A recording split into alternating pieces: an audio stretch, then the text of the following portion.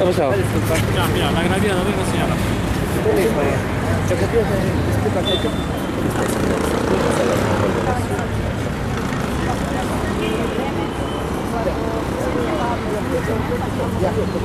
venga no pagarme, no va a ser internamente ya, por favorcito, me dijo, yo soy inquilina, entonces yo le he dado 450 y ya me dijo, "Ah, vino dos veces, la mitad, la mitad, no al no, vino dos veces y ahora al último me llamó, falta 50 para, por lo que te he hecho por hoy, el 4 te va a llevar recibo y nada, yo he ido en la mañana al central y no, no está nada, debe estar tanto, cantidad y ahora pagarle los 50 yo le llamo, por favor le voy a dar los 50 y ahorita lo- por eso lo va a ya ven, estaba conversando con una señora en Horacio, es mi vecina también, pero no me encontró todavía. Y le estaba pidiéndole cada vez de plata, pero me dijo su vecina también, estaba, eh, te voy a ayu- ayudar a pagar. supuestamente te ha indicado como trabajador de de seda, Seda, ya casi, con el nombre de Nicolás García. Y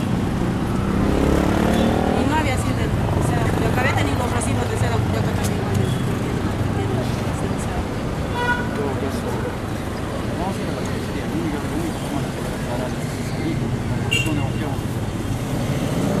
Ahorita, pero, ¿Qué Yo quiero que me devuelva mi plata y quiero que, porque ya he engañado a varias personas, he visto en la mañana tiene su foto, pero ya he engañado a varias personas. Sí, el señor, el señor no trabaja en Seda Culiaca, trabajó en el año 2012, 13 me parece, pero de ahí ya no. Pero actualmente viene sorprendiendo a varios usuarios que tienen deudas o que tienen las conexiones irregulares, extorsionándoles, ¿no? Que les den dinero para que lo solucione a nivel de la empresa.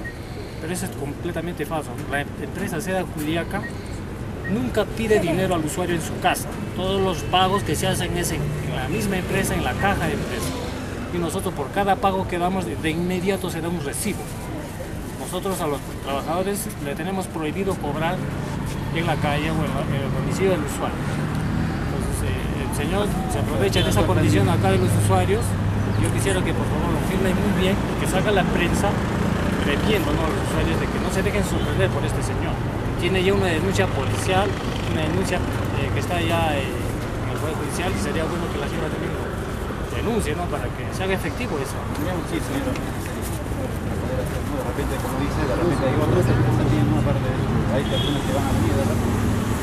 Sí, de- repente, y ahora me van a venir a reclamar. Ah, caso, lo vamos a traer a la policía. Aquí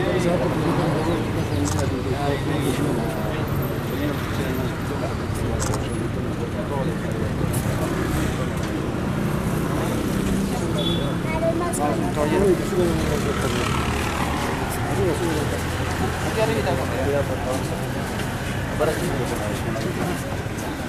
Hay que poner con la Un papel que saca.